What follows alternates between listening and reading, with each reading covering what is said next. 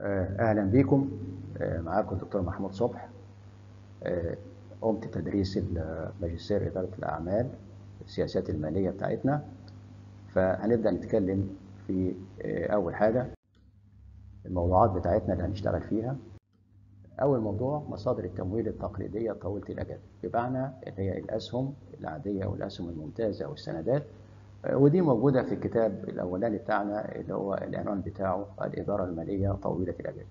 أنا عاوز إنك تعمل مقارنة ما بين المصادر الثلاثة وأوجه الاختلافات بينهم إيه وإيه. المقارنة هتبقى بسيطة هتبقى بسيطة ويا ريت لو تعملها بشكل جدول يبقى الموضوع بتاعنا جميل أوي.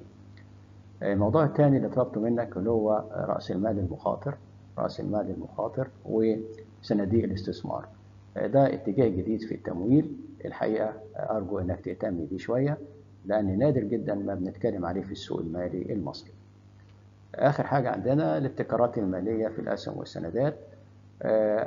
التطور المالي في الأسواق المالية خلى هناك بعض الناس تفكر في صور أخرى خلاف الصور التقليدية اللي موجودة في نمرة واحد.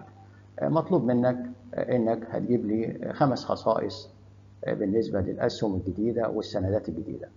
الكلام ده كله موجود عندك في الكتاب بتاع الابتكارات المالية. برضه بالنسبة لصناديق الاستثمار ورأس المال المخاطر ده موجود في الكتاب بتاعه اللي عندك.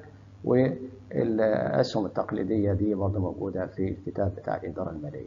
أنت عندك المراجع الثلاثة اعمل ملخص للموضوعات دي منها وإن شاء الله تبقى الأمور طيبة وخالص تمنياتي بالتوفيق.